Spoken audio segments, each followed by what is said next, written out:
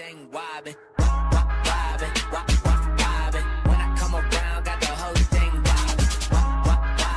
What is going on guys? It is Zirksee today with another YouTube video today we have the new Gauntlet Unleashed 5. Now of course this video is coming out a little bit later than I'd like it to because the fact that the servers were down until about 12.30 and right now the Gauntlet solos are not currently in the game, they did take them away because they figured out those supposedly are what is causing the problem with the server so they're going to try to fix those. So unfortunately right now you can't play the solo challenges so in order to get yourself the final tokens you might need unfortunately you can't play those right now. But for the 93 overall which I expect it to be we actually got ourselves a DeSean Jackson. So I'm going to go ahead and throw my tokens in here now with the new Gauntlet Unleashed solos, or the new Gauntlet solos, and the Gauntlet Unleashed, once they do finally release those back in the game, of course, you get three Gauntlet trophies, because you get one from playing the you know, lower level, medium level, and then the veteran level. Now, at the end of that, I do believe that you get yourself not only a Gauntlet trophy for the veteran,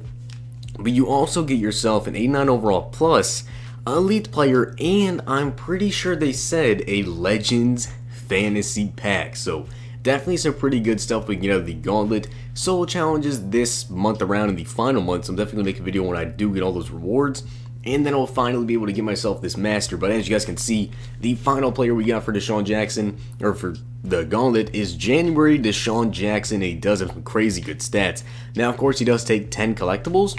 And as you guys can see, you need to turn in all of the Gauntlet champions to select an upgraded, auctionable, and tradable version of a 95 run. Now you will get all the Gauntlet champions back, so if you use these guys like me, I actually use Brandon Marshall, Penn, Ansah, and Barry Church for my team.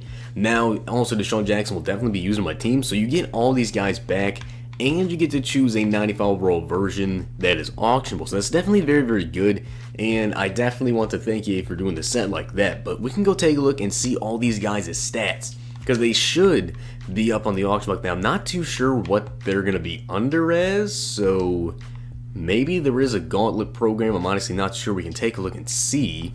And where is it at? Gauntlet Champions. Okay, so they are okay, so they are up as auctionable. Now we can see which one is going for the most. They're probably all going for about the same. And it looks like Barry Church and maybe Philip Rivers are the most expensive. I'm honestly not too sure. But let's take a look at these guys and go over their stats. We have Donald Penn, 95 overall here, secure pass blocker. We compare to his Gauntlet champion. I guess we compare all these. They're Gauntlet champion, except for Donald Penn, or except for DeSean Jackson because we don't have him yet. But 92 strength, 95 run block with 93 pass block, 93 impact, 93 awareness, 84 stamina, 67 speed, and a 57 agility. Now you have to take into effect that of course these sets did just come out and with the Gauntlet solos not in the game, these cards are going to be at their price, you know, the highest right now. So if you're buying DeSean Jackson for 300k, you're out of your mind. But when I do finally do the set, I'm probably going to pick somebody and just sell him, so we're really just going to go whichever guy is the highest in terms of price. And we have Brandon Marshall comparing to his Gauntlet Champion. He actually, oh, and all these guys actually have a special ability too. So he has Unfakeable, 85 speed with 96 awareness, 96 tackle, 96 play rec, 93 block shed, 95 pursuit, and an 89 zone with a 90 hit power. Now he does actually have a 79 catching. He has a jumping of an 82 and a block shed of a 93. So definitely a very good middle linebacker there. Then we have Stephon Gilmore, who may be, in my opinion, the best one. Not really too certain on what you guys think is the best one so far, but I'd say Stephon Gilmore might be the best one. 92 speed, 95 excel, 89 agility, 96 man coverage, 91 zone, 96 press, 92 play rec, and an 85 catch. Now, he actually has pick specialist chemistry, so if he gets a pick and he doesn't get touched, he's taking it to the house.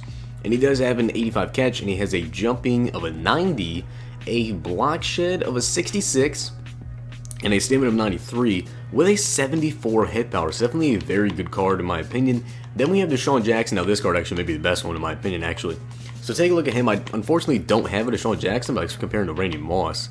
And he has 95 speed, 93 catch, 94 elusiveness, 96 spectacular catch. That's insane. for DeSean Jackson. 90 release, 95 route running, 89 catching traffic, and an 89 jumping. Now he also has himself a run block of a 56 or a 58, pass block of a 56, and he has an 88 kick return, which I kind of thought would be higher. But he has a 90 spin, 91 juke move, and he also has a stamina of a 95.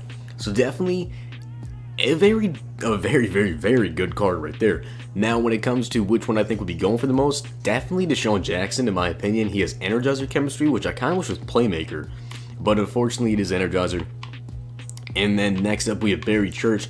Now he actually has a new chemistry, which a lot of people have been complaining about this chemistry. We'll compare this to his 91 overall, 87 speed with 90 excel, 95 play 93 tackle, also has 94 zone, 93 hit power the 93 pursuit, and he has an 83 catching, a jumping of an 80, and also has a block shed of an 88. So definitely the better cards, but take a look at his new chemistry, and player has an increased impact on a receiver's catch chance when near the receiver. Now, drops in this game are already pretty dang bad. But when it comes to this new chemistry on Barry Church, and you can expect this chemistry to be on some new players when they come out, this is definitely not good. A lot of people were mad about this chemistry because of how many drops there are already, and with the fact that a lot of people can get this Barry Church and use him. For me, I don't really see me using him. He does have 94 zone, 93 hit power, but 87 speed, 90 excel. There's definitely some faster options at the at the safety position, so not really interested for me. But that new chemistry is definitely going to cause a lot of more drops, and people are going to be very, very mad about that. Then we have Philip Rivers, who's looking like an absolute gunslinger. I'm going to compare him to Tom Brady. 64 speed, 97 awareness, 93 throw power, 96 short, 93 medium, 89 deep with a 95 play action and 88 throw on the run. He also has an acceleration of a 65, and he has conductor chemistry.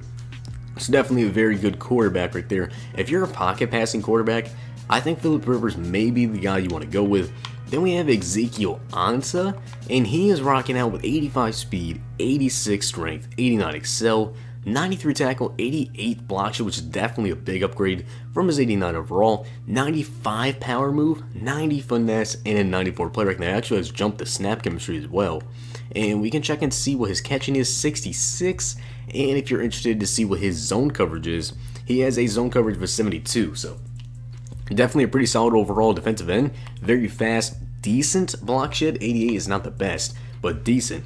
But an insane 95 power move on that card. Then we have Zach Ertz, who has playmaker chemistry. Take a look at this card. This might be a guy I'm interested in going with, but only 84 speed on a 95 overall really doesn't entice me too much.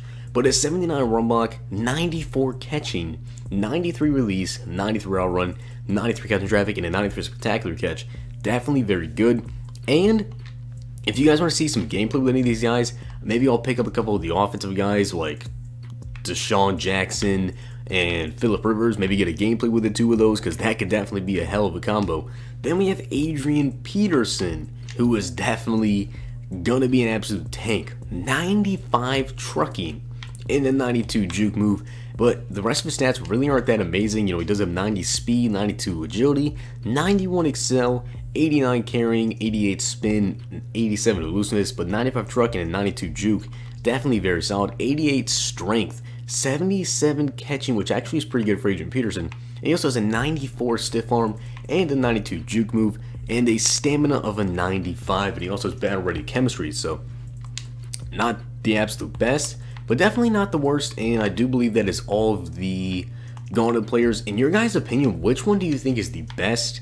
For me, I'd probably say it's actually kind of hard to choose between who you want to go with, but I have to say DeSean Jackson just because the fact that that speed, 95 speed, 94 acceleration, the 96 spec catch, 95 route running, that's just insane. Imagine running a comeback route with that card. Or Barry Church with a new chemistry that's definitely very glitchy. Zach Ertz doesn't look too bad. Philip Rivers, definitely one of the better pocket passing quarterbacks. Now, I'm not too sure how this is going to affect just the 95 overall you know market in general with all these new gauntlet guys being out. We can definitely take a look though and see if anyone has dipped a little bit in price. As you can see, Calvin Johnson 200k. Dan Marino may fall now because of the new Philip Rivers. I could definitely see that happening. And of course, the team of the year offense should be taking a little bit of a hit because, of course, we did just get those new solo challenges. So people are going to be pulling the offensive cards, and of course, there's also the offensive set. So people are going to be doing those. So if you guys want to pick up any offensive or defensive team leader players, now is definitely the time to go ahead and do this.